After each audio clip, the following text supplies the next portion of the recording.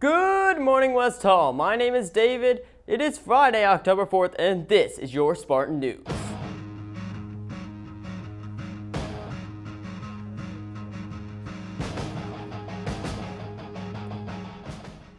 Yearbooks are already available to buy on yearbookordercenter.com for $60. Order yours now before prices go back up. And we have homecoming this Saturday, 7 to 10. It's too late to buy tickets and it is too late to turn in forms.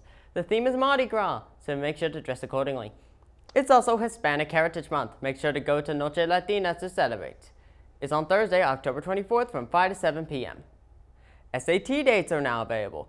Upperclassmen, make sure you get signed up and get it done. Now we head over to Zachary for our sports and weather. Today we have our football homecoming game against Cherokee Bluff. Make sure to get out there and support our Spartan athletes. Now for our weather. Today we will have a high of 77 with a low of 64. This comes with a 24% chance of rain. Tomorrow we'll have a high of 80 with a low of 65. This comes with a 14% chance of rain. Sunday, we will have a high of 73 with a low of 62. This comes with a 24% chance of rain and all weekend we'll have a partly cloudy sky. Now back to you, David.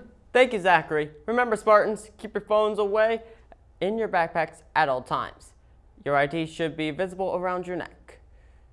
There's also tutoring available for all classes nearly any time of the week. If you're struggling in a class, make sure to reach out to your teacher and get that scheduled.